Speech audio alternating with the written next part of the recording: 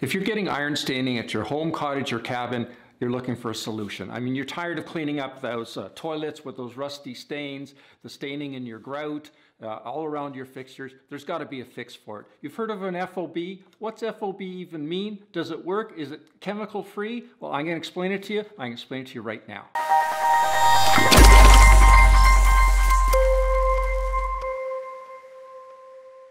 Hi, I'm Gary the Water Guy, and I simplify water filtration to help you conquer crappy water for your family. So an FOB is an iron filter. It's a totally chemical-free type system. There's no filter cartridges to change. It just totally works off air. How can it possibly do that? Well, air is used to oxidize the iron out of your water. And you can see that process taking place in your home right now. You probably notice that once you flush the toilet, you clean the toilet, it's nice and there's the water comes in, there's no color to it, there's no rust stains, that's fine. And then you go away for a couple days or a week if it's a cottage or a cabin and you come back and you see it's all rusty inside. How did that happen? Well, what's happened is the air is oxidizing the iron out of the water. So what we want to do is we want to oxidize the iron out of the water, but inside this tank and get rid of that iron before it enters your home, cottage, or cabin. And uh, that's, so how does it do that? Well, basically how it works is this, is inside this tank, the top, oh, I don't know, top third of this tank or so is an air bubble, a giant air bubble. And, uh, and whenever you run your water, your water sprayed through that air bubble. And what that does, it oxidizes or brings out the iron, just like in your toilet, brings it out of, out of solution, out of the water, and then the water passes down through the tank. About the bottom third of the tank is a media, and that media is called Birm. That's actually what the B part of the FOB means. It stands for Birm. And uh, so what it does, it, it attracts that oxidized iron in the water and, uh, and it, it attaches to it. And so then the water keeps on going down, but now the iron's been pulled out of the water. As the water gets down to the bottom of the tank, it enters into this filter here, or this screen. So it's installed this way. So you can see the water uh, passes down through the media and then goes inside the filter here and then goes up through the middle and then it goes on to your whole house.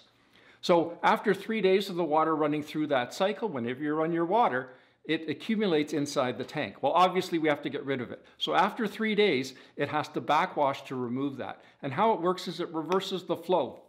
So now water comes in here and it goes down through this tube, gets down to the screen, comes out through the screen, goes up the tank, and it actually expands the media. It lifts the media off the bottom of the tank and expands the media to the whole size of the tank. So it actually pushes out that air bubble out through the top, pushes it out through the drain, and so as it's backwashing all that media and flushes all the debris to, to the drain.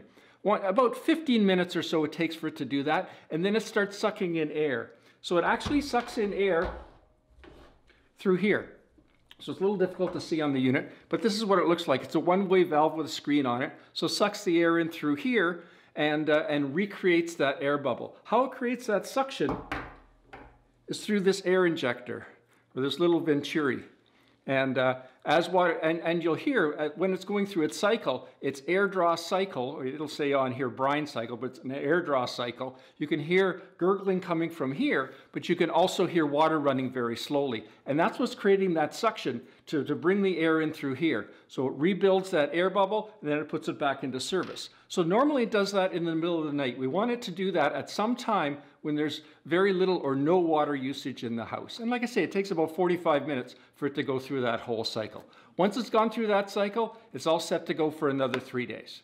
So one question you may have is, uh, will an FOB also remove sulfur from your water if you have both iron and sulfur? It will, but it's only really set up for a very small amount of, of sulfur removal. So if you've got I mean, this will do four parts per million of iron removal, no problem. And if you've got a little bit of sulfur, you get a little bit of smell occasionally, it'll do that too. If you've got higher amounts of sulfur in addition to the higher amounts of um, iron in your water, then you're probably going to be better suited to an FOK instead of an FOB. Also, you need to watch the pH. So the pH has to be uh, 6.8 or higher for this system to work properly. So for some more information about air over media iron and sulfur filters, in other words, uh, how to install, how to maintain, how to winterize, just go over here to my next video and I'll see you there.